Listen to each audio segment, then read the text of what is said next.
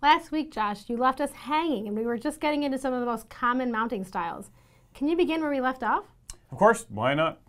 Let's see, probably the most common designs are the MP1, which is a fixed clevis, and the MP2, which is the detachable clevis. The fixed clevis is part of the cap itself. A detachable clevis is bolted to the cap, and both allow engagement to a clevis mounting bracket with a steel pin held in place with cotter pins or snap rings. When would you want to use this design? They're best suited for applications where the cylinder must pivot through an arc as it extends and retracts, such as with a boom crane or a bin tipper. Mm -hmm. Also, it is important to remember that clevis mounts require attention when being applied. However, because they're highly prone to side load and column strength issues. What kind of problems can you find with side load and column strength issues? I'll delve into that a bit later, as that's a, a problem you can face anytime a system isn't designed for it. Um, for now, let's keep talking about common mounting styles. Okay, so what's next then? MF1, this is the front flange mount. Uh, MF5 is the front flange extra mount, and the ME5 is the front head flange mount. So all are methods of mounting the cylinder off or part of the head itself. The MF1 has a rectangular flange attached to the head, which protrudes from the side of the cylinder.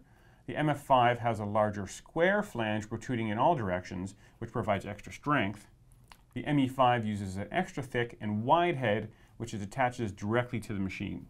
These options require the cylinder to be stationary and this fixed centerline mounting provides them with a high column strength. Are there other fixed centerline mounting designs we should know about? Yep. The MF2, MF6, and ME6 rear flange mounts are similar to the front flange family, except their respective locations are off the cap rather than the head. Okay. MF2 has a rectangular flange attached to the head, but protrudes only on the sides. The MF6 uses the same large square flange as the MF5, and the ME6 has a beefy cap containing mounting holes for direct attachment to the machine. Okay. What about lug mounting? These are some of the more rigid cylinder designs, correct? That's correct. Uh, lug mounting uses rectangular tabs machined uh, from the same block of steel as the head and cap, uh, although they are sometimes welded on. Okay. The four MS2 side lugs are on the bottom of the head and cap, the MS3 center lugs are midway up the head and cap, and the MS7 end, lug, end lugs are mounted to the front bottom of the head and the back bottom of the cap. Uh, they are indeed very rigid, but their dual mounting points can add worries of misalignment between the front and rear lugs, especially related to bending or torquing of the mounting surface. And then we come to trunnion mounting, correct? These are perhaps some of the smoothest moving designs out there? Yes, the MT1, MT2, MT4, front, rear, and intermediate trunnions uh, are an alternative to the clevis style pivot.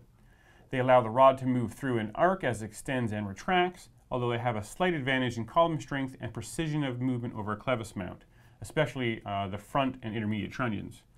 The rear trunnion is uh, slightly weaker, especially if the rod isn't rigidly guided. So that's all the common mounting styles then. Can we go back to the side loading and column strength issues then? Absolutely. An analogy I like to use for when a rod extends toward the end of the cylinder stroke is when you're using a tape measure. If you're like me, you've wasted time discovering how many feet you can get the tape to extend into free air before it bends, dropping with a boing clank sound. The longer the cylinder stroke and the farther the cylinder extends along its stroke, the higher the rate of potential for two common cylinder problems, side loading and column bending. So what exactly is side loading? Side loading occurs when a mass or force pushes the rod up, down, or to the side. A cylinder is happy um, when the in and out forces of compression and tension are applied, but any bending force that causes accelerated wear at best, and a bent rod at worst. Mm. When a cylinder is retracted, it has the highest resistance to side load, not only because the torque uh, effect is low when the rod extends a little past the rod bushing, but because the other end of the rod is supported by the piston deep inside the cylinder bore. As the cylinder extends, the moment arm extends as well, increasing the torque potential on the rod, as well as moving the piston closer to the head. This reduces the capacity for the piston to act as a bearing. Side loading also causes uneven wear, as the rod pushes on one side of the bushing and the piston drags with more force across one side of the barrel. It almost sounds painful. It is, and it can eventually destroy a cylinder. Column strength, on the other hand, refers to the capacity of a cylinder to resist bending when under compression. This is affected by the distance between the load and the moment, the diameter of the rod, and the class of the mount itself. The distance between the load and the rod can be explained by my measuring tape example. Mm-hmm. The farther the tape is extending, even upward, the less you can push the tip against the wall before it buckles, or your hand. Mm-hmm. When a cylinder is mounted at the cap and not prevented from moving around, the column strength is extremely low, and the rod is prone to bending under compression. Because of this concern, the clevis mount cylinder can often operate at a quarter of the pressure as one of the more rigid mounts, such as the F, uh, MF1 front flange. So what can users do to avoid these problems in their cylinder mounting designs?